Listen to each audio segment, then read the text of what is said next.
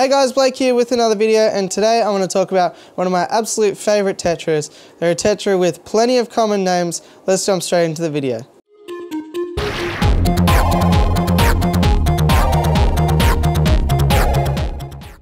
Okay guys, so these here are uh, my favorite tetra. They have plenty of common names. Some of them include Kerri tetras and Emperor tetras, but let's uh, jump in and talk about these awesome little fish. So we'll swing the camera around and take a bit of a closer look. So these awesome little critters here that you can see swimming around, uh, they're Inpaichthys kerri, also known as the purple emperor tetra, Kerri tetra, or the emperor tetra though they have plenty of uh, common names as well. Primarily they inhabit forested areas in waterways that are uh, often stained brown with tannins and um, decaying organic material is very prevalent. So, so as such, they like an acidic water with a pH of between 5.5 to 7.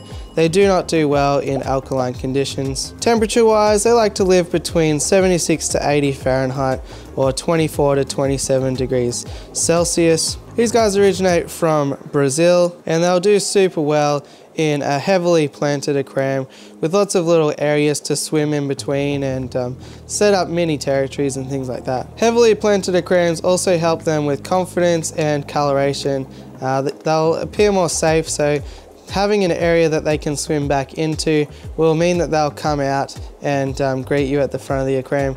It might sound a little bit counterintuitive and you might think that if you provide areas too high, you'll never see your fish, but in fact it works quite the opposite. Also, if there's plenty of open swimming space, they won't show their best coloration. In terms of diet, like most other tetras, they'll readily accept prepared foods like um, flakes and pellets, but they should also be offered regular meals with live and frozen foods such as brine shrimp and daphnia. A varied diet will really help to bring out the best coloration and development. They're a peaceful tetra and uh, it's recommended to keep them with other species from South America, such as other small tetras, pencilfish, hatchetfish, apistogrammas and other dwarf cichlids. Corydoras and Otocinclus, but they'll also do well with small gouramis, rasboras and peaceful barbs. There is a bit of a reputation that Kerri are fin nippers, though it hasn't been my experience. I found them to be super peaceful. I have, as you can see, I've housed them with uh, Betta, which has quite long fins, and also super shy Emerald Rasboras, and I've not found them to be any hassle at all. So I do believe that their reputation as a fin nipper is somewhat undeserved. Perhaps it could be the case that if you keep fewer numbers that they might exhibit this sort of behaviour, and if you have more of them, they sort of spar amongst each other instead. So I keep them in a group of 20 here. I have 10 of the blue varieties which has uh, quite a nice blue sheen to the body and then 10 of the black varieties which interestingly enough some of them have bright blue eyes and some of them have bright green eyes which is really really interesting to see. In terms of sexing these guys females are less colourful and have a stockier body shape than males and they also have predominantly red uh, finnage, while males they have mostly blue fins. They are easily bred in the hobby. Uh, they're an egg scatterer, so my recommendation would be to do the hang-on breeder box uh, technique that I've shown you in videos before. I'll put a link of one of those examples as a card above here now.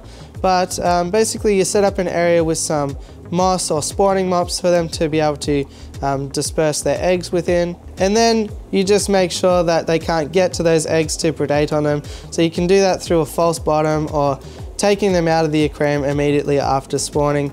The water in the breeding uh, aquarium should be between 5.5 to 6.5 to make sure that the eggs will um, hatch properly. And as with any fish, it's a great idea to condition them properly beforehand with some live foods such as baby brine shrimp or live um, blackworms, things like that. The eggs will hatch within 24 to 48 hours and fry will become free swimming three to four days later. Make sure to feed the fry small foods such as vinegar eels or infusoria because they won't be born large enough to accept freshly hatched baby brine shrimp or microworms. So all in all, um, a fairly accessible tetra. You'll find them at um, most aquarium stores. You might just have to look a little bit carefully though.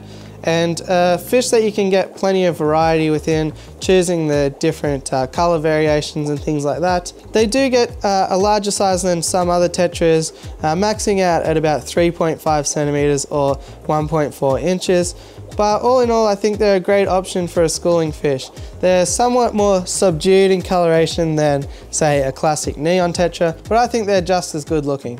They'll show plenty of activity and readily take to foods, so they can be a great dither fish as well if you do want to bring out some confidence in some really shy fish. Okay guys, so there you go, that was my uh, care guide on the Emperor Tetra or the Kerri Tetra, however you like to pronounce it wonderful little fish and they'll, they'll bring plenty of activity into the aquarium. They're also a tetra that you can breed, which is pretty awesome and not the most common thing in the world. Hopefully you liked this video. If you did, it always helps me out to smash the like button, hit subscribe, maybe even consider dinging the notification bell. Other than that, I hope you have a great day and I'll catch you on the next one. Thanks for watching.